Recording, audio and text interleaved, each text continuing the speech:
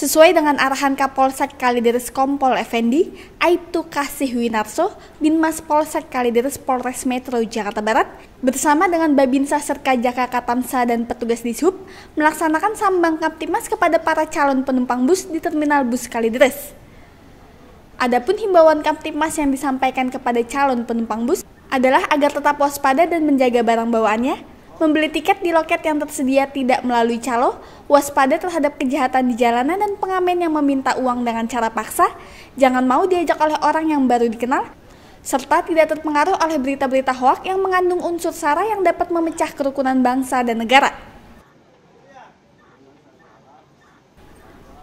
Demikian dilaporkan Aibtu Kasih Winarso, Binmas Polsek Kalideres. Salam Tribrata.